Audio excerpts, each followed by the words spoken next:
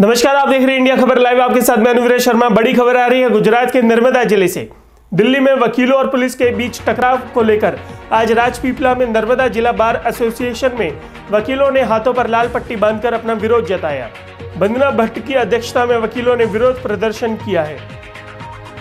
એનું કારણ એવું છે કે દિલ્હી પોલીસે જે ત્રીસ હજારી કોર્ટના જે વકીલો પર જે અન્યાચાર અન્યાચાર કર્યો છે અત્યાચાર કર્યો છે અને એ અત્યાચારમાં પોલીસે વકીલો ઉપર ગોળીબાર કર્યો છે, લાઠીમાર કર્યો છે. ઇવન જે મહિલા ધારાશાસ્ત્રીઓ હતા,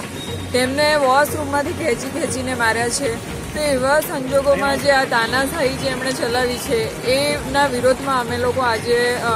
નર્મદા જિલ્લા બાર એસોસિએશન અને ગુજરાત બાર કાઉન્સિલના આહવાન હેઠળ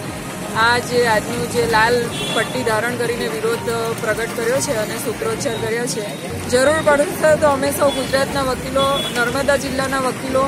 અમે લોકો દિલ્હીને ગોર્ડન કરવા માટે પણ તૈયાર છે, પણ આવો અત્યાચાર તો નહીં સહન કરી લઈએ. અને આ સાથે સાથે જ મારી લો કમિશનને અને law minister Shri central law minister અને સ્ટેટ લો મિનિસ્ટર શ્રીને નમ્ર વિનંતી છે કે એડવોકેટ પ્રોટેક્શન બિલ જે છે